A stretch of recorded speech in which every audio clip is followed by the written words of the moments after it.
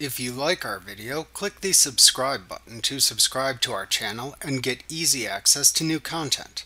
To see our full suite of ad-free video courses and training materials, visit us at teachucomp.com.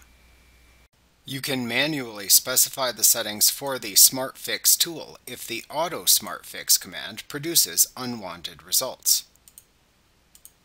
Doing this lets you more carefully set the amount of overall correction applied to an image. To do this, choose Enhance, Adjust Smart Fix from the menu bar to open the Adjust Smart Fix dialog box. Use the Fix Amount slider to set the amount of correction to apply to the image. You can also enter a percentage into the adjacent percent field if desired. Note that clicking the Auto button in the Adjust SmartFix dialog box is the same thing as selecting the Auto SmartFix command under the Enhance command within the menu bar. When the image has the desired level of correction applied, click the OK button.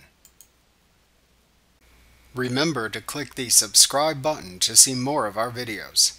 Get ad-free courses at teachucomp.com.